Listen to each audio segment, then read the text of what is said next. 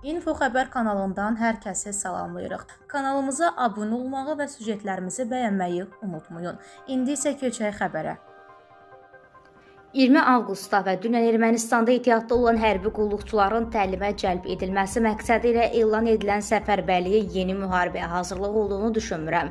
Belə təlimlər bütün ölkələrdə illik tədris planı çərçivəsində həyata keçirilir. Ermənistan ordusu Azərbaycan tərəfindən darmadağın edilib. İndi isə pərən-pərən olmuş ordunun qalıqlarını bir yerə yığıb onu yenidən formalaşdırmaq istəyirlər. Bunu Axaraz açıqlamasında hərbi ekspert polkovnik Şair Ramaldamov deyib. Onun sözlərinə görə Azərbaycan ordusu bütün mümkün təxribatlara və ssenarilərə hazırdır. Ermənistanda belə hərbi təlimlərin keçirilməsi təbiidir. 44 günlük müharibə ərzində Azərbaycan silahlı qüvvələri tərəfindən darmadağın olmuş, əhval-ruhiyyəsi sıfıra enmiş ordunu yenidən nizama salmaq istəyirlər. Əlbəttə ki, ehtiyatlı davranmalı və hər zaman təxribatlara hazır olmalıyıq.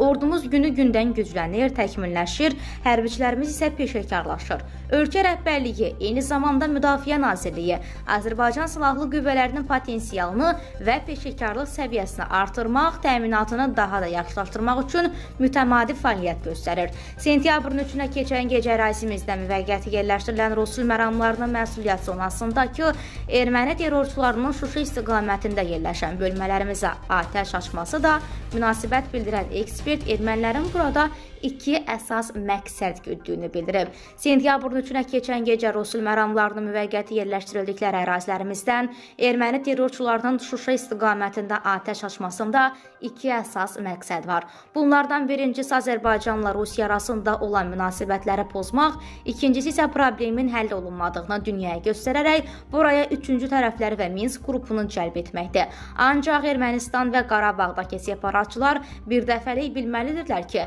hər hansı bir təxribatın qarşılığı Azərbaycan ordusu tərəfindən qətiyyətlə veriləcək. 30 avqustda Müdafiə Nazirimiz cənab Zakir Həsənovun rəhbərliyi ilə keçirilən xidmətli müşavirədə rəhbərlik tərəfindən verilən əmr və tapşırıqlar da buna sübutdur. Ermənistan ağlını başına yığmalıdır, çünki dəmir yumruq yerindədir.